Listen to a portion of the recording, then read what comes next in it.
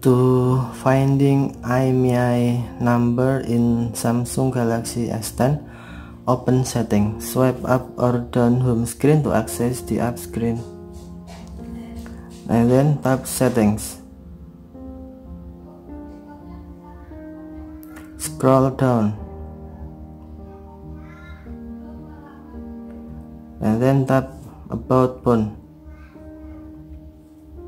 This is a IMEI number in slot 1 and IMEI number in slot 2 or uh, tap status. And then tap IMEI information. This is a IMEI in slot 1 and in slot 2 okay.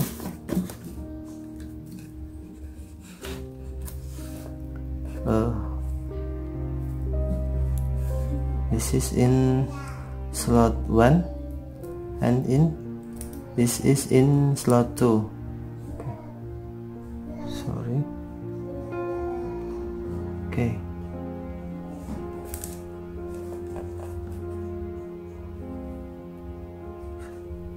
Slot 1 and slot 2 okay. Thank you for watching. Have a nice day